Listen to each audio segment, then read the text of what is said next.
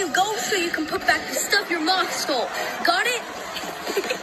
Let's just say it'll be a while until I invite you to another sleepover. Ugh, they'll be fine. By the time I wake up, the moon dust will have worn off. Matsuki watch whole thing.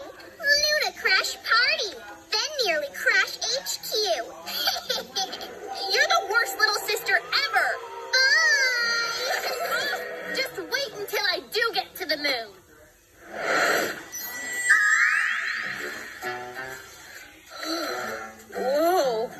I don't remember dozing off, but I do remember having the craziest dream. You and I were spinning around in some kind of machine. Same. And you showed up and rescued us. Like a hero.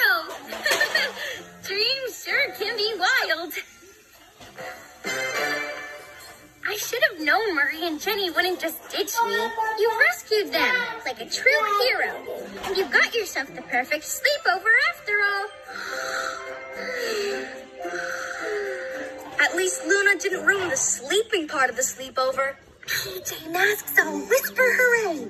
Cause in the night, we save the day. Bye.